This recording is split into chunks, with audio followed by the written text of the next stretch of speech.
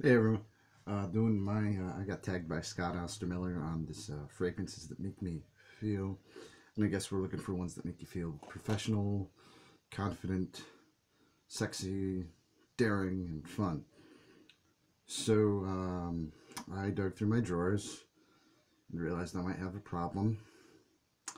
Yeah, and then I was like, I don't know if I can narrow it down to just one or two so this might be a while, but it's it's going to be fun. It's a learning experience, and uh, thank you, Scott, for pointing out how terrible of an addiction I have. Anyhow, let's start with professional. I work in a business environment. I work at a casino. I'm a floor supervisor. I'm the guy with the suit and tie watching all the card counters. Yeah, very exciting. Um, but to fit in there, you gotta you gotta look good and also smell good. so first, let's go with uh, let's see. Wow, got quite the array here. Let's go with, for a professional, let's go with an old standby at first. That's right, Old Spice. Reason why? You smell that, you're an Old Spice man.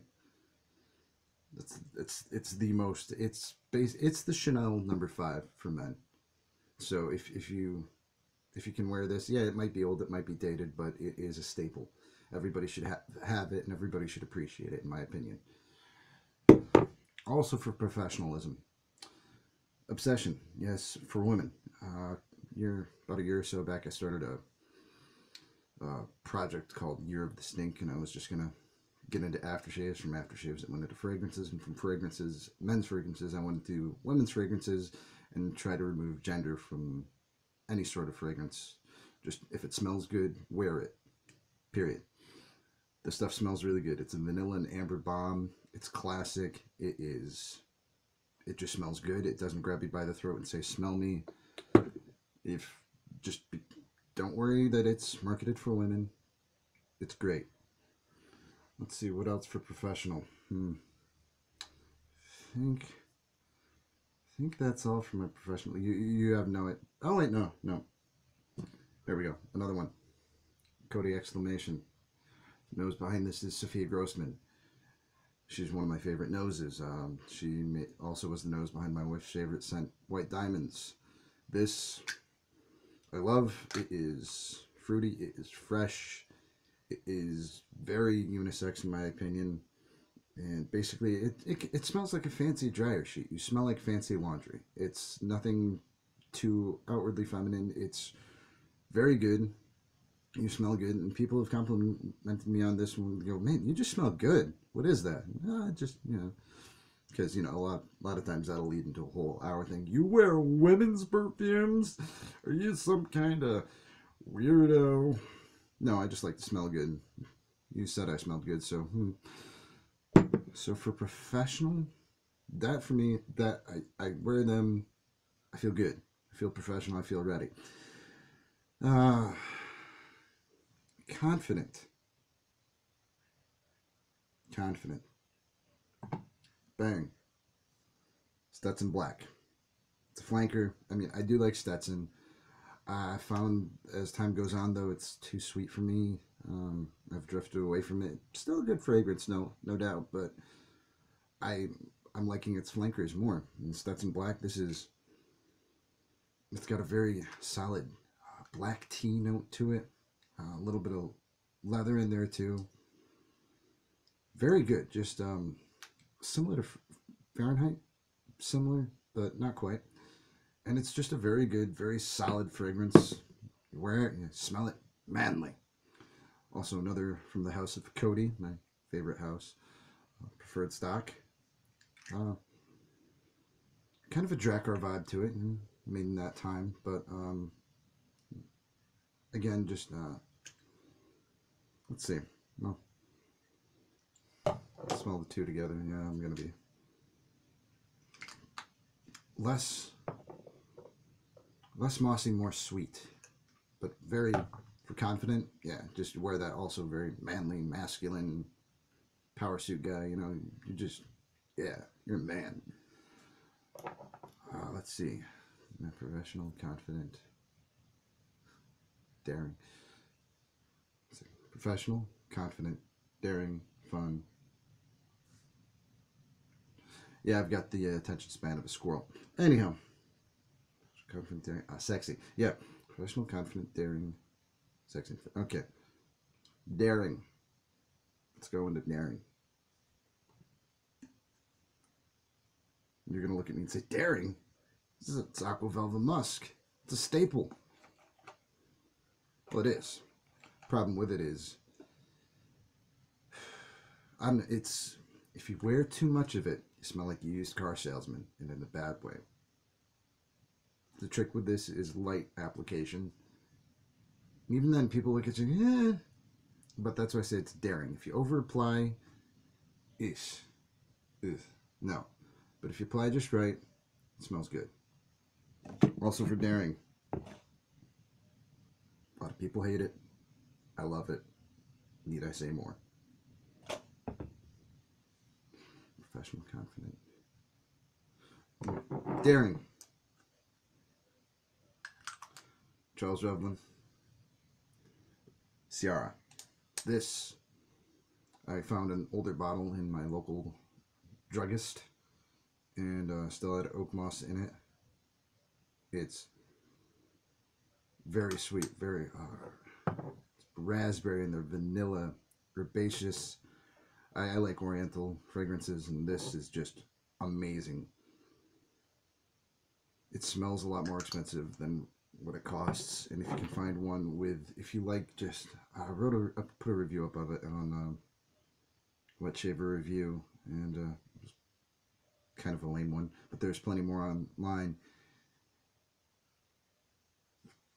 20, 30 years ago, this would have been a women's fragrance. Now it's very unisex. You could definitely, I could definitely see someone like Slumberhouse or Tom Ford, something along that line, releasing something that smelled very similar to this, and it would be lauded and it would be loved, and everybody would say, "Oh, how daring, how outre," and it's just, oh, it's great.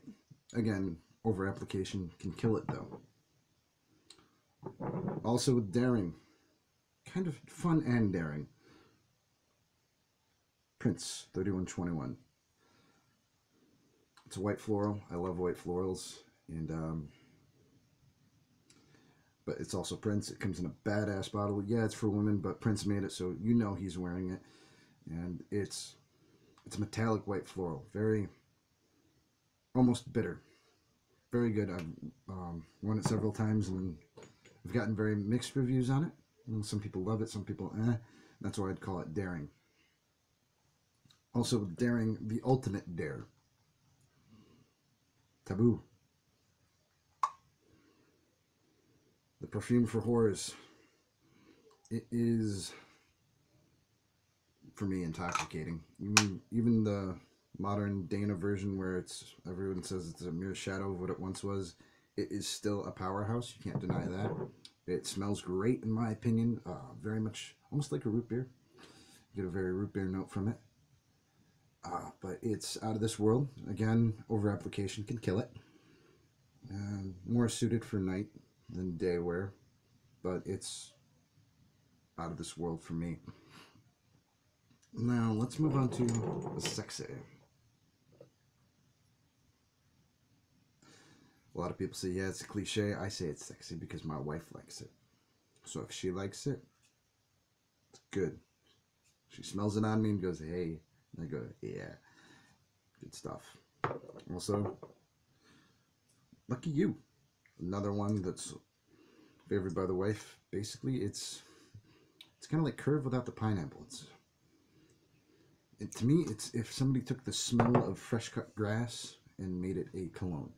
It's very fresh, very vibrant, very 90s in a good way. And I just love it. It's good stuff. Now we're moving on to the fun category. A lot of these I'd consider in the fun as well. Um, Prince. It's Prince Cologne. That's just fucking hilarious right there. Um, let's see what else. Um, one that I have sampled but do not own because I'm not going to spend all that money on a bottle of cologne no matter how much I want to. Even basically, my wife says no. Uh, Penhaligon's Astara, uh, fragrance for women, but it smells like daffodils, and it's great. It's springtime in a bottle. And a very close runner up to this, just fun, Arden Sunflowers. It is fresh, it is bright, it pops, and you just smell it and you're like, yeah, springtime and flowers and sunshine. All right. It's very much a mood brightener for me.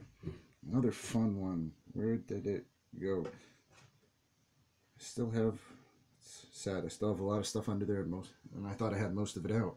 Where did it go? Where did it go? Where did it, where did it go? Oh, fun. How could I forget this? Gravity. It smells like the 90s. Such a cliche. So good, though. So good. Lime and leather.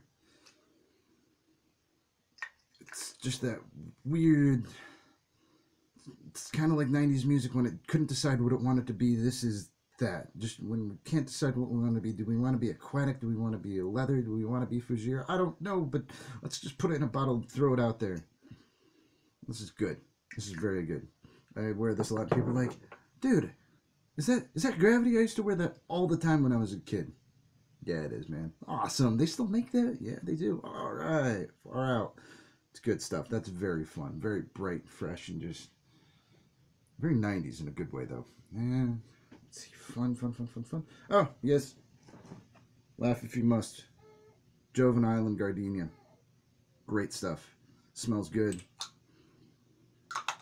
Some say you smell like an old lady. I just say you smell like a pretty flower. And that's okay if you want to smell like a pretty flower. Because nobody's judging you. And if they are, they're an asshole. Where would you want to smell like?